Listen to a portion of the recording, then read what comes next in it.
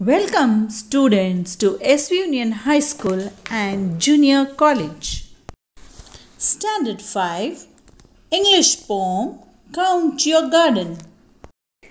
Count Your Garden is a beautiful poem which inspires us to look at the brighter side of life and be happy instead of looking at anything negative and regretting or feeling sorry for the same, and at the same time not dwelling in the past.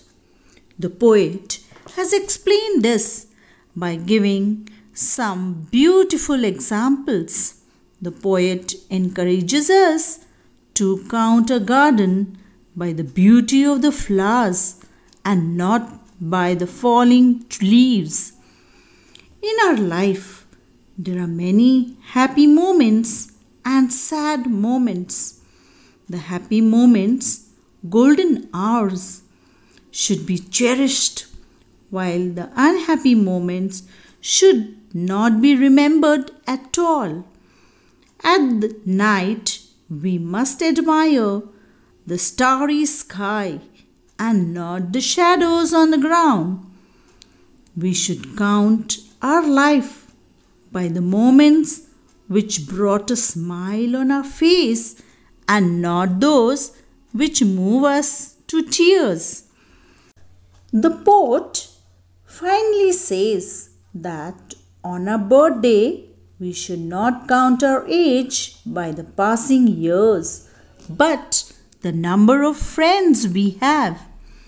We should learn to count our blessings and be grateful for all the good things we are blessed with and consider ourselves lucky for having what we have. We must learn how to count things in our life. We must count our garden by the flowers that we see here, there, and not the leaves. Our lives must be remembered by all the good things that have taken place and not the bad things. We must count our nights by the stars that we see again all the good things and not by the shadows. We must make note of all the time we have smiles and not by our tears. We must count our age by the friends we have and not the years that have gone by. So now we recite the poem Count Your Garden. Count your garden by the flowers, never by the leaves that fall. Count your days by golden hours. Don't remember clouds at all.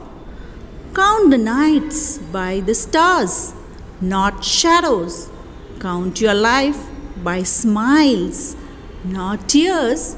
And with joy on every birthday, count your age by friends, not years. The explanation of the poem Count Your Garden. According to the poet, we should count a garden by the flowers in it by giving some beautiful examples and not by the falling of leaves and never think of the past.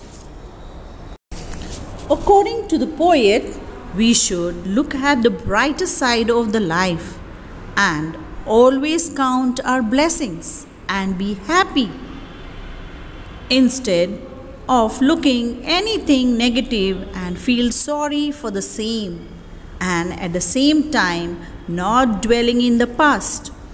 According to the poet, we should count a garden by the flowers in it and not by the falling leaves and never think of the past.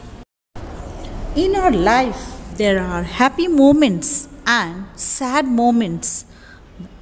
Our life must be remembered by all the good things that have taken place and not the bad things or sad moments. Happy moments are the golden hours. They should be cherished and utilized, while the unhappy moments should not be remembered at all. We must count our nights by the stars that we see. At night, we must admire the stars in the sky and not the shadows on the ground. We should count our life by the moments which brought a smile on our face and not those which moved us to our tears. On every birthday, we should joyfully count our age by friends and not by the years that have gone by.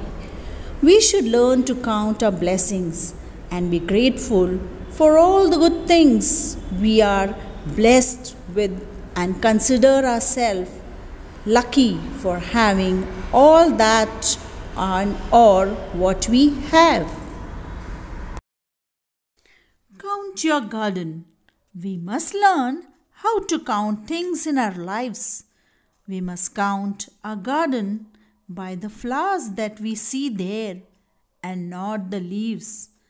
Our lives must be remembered by all the good things that have taken place and not the bad things.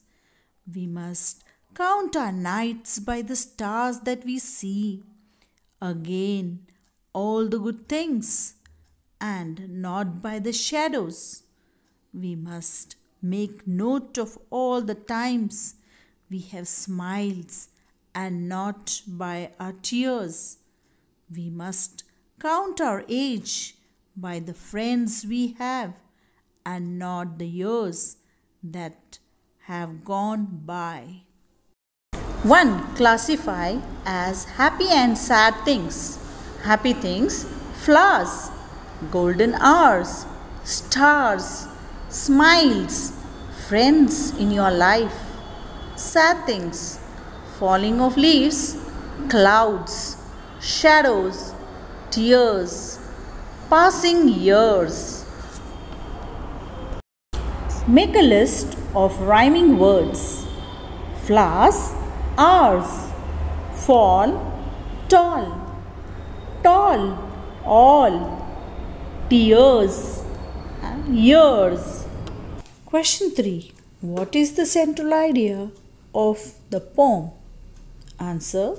The central idea of the poem is that we should learn to look at the brighter side of life and always count our blessings.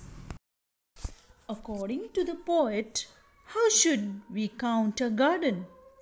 Answer According to the poet, we should count our garden by the flowers in it.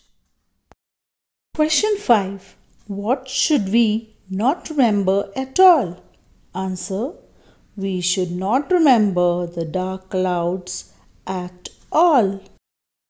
Question 6 What should we do joyfully on every birthday? Answer on every birthday, we should joyfully count our age by friends and not by the years that pass. Question 7.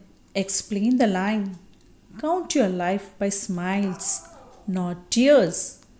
Answer The above line means that there will be happy times and sad times in our life we should count our blessings by the happy times and not those which moved us to tears. 8.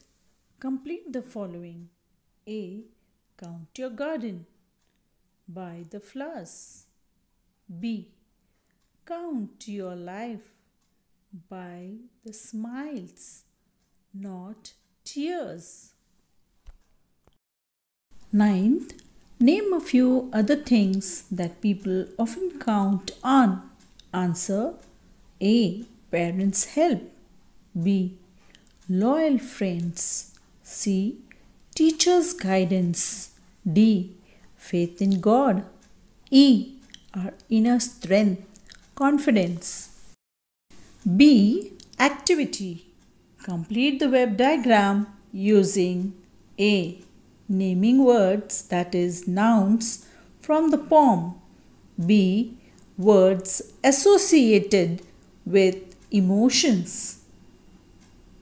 Uh, naming words friends, flowers, stars. B. Words associated with emotions joy, smiles, tears. Match the rhyming words. First, flowers, hours. Second, tall, all. Third, tears, years. Give another title to the poem. The title is Count Your Blessings. Thank you.